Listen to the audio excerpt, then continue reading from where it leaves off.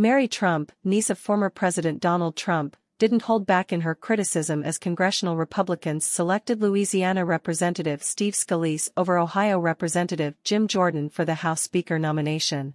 Jordan, a favored candidate among MAGA Republicans, received Trump's endorsement, but Scalise secured the nomination with a 113 to 99 vote. The vote underscored a division within the party, revealing that Trump's endorsement didn't carry the weight it once did. Taking to X, formerly Twitter, Mary Trump expressed her viewpoint on the outcome, dubbing Donald Trump as the big loser in the speaker battle. She emphasized that the former president's influence within the Republican Party is dwindling, noting that his endorsement no longer guarantees success and, in some cases, may even be a liability.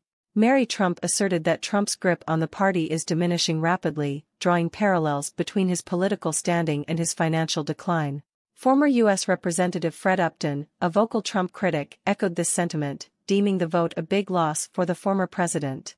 Upton's commentary on MSNBC suggested that Trump's strategic endorsement didn't yield the expected outcome, signaling a potential weakening of Trump's sway over party dynamics.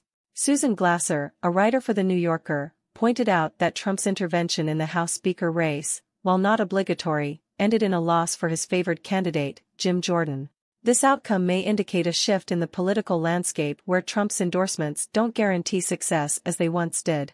Despite Trump's public backing of Jordan on Truth Social, some of Jordan's supporters have expressed reluctance to vote for Scalise in a House floor vote.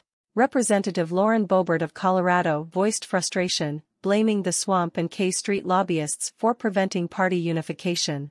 Boebert emphasized the need for genuine leadership change rather than a continuation of the status quo.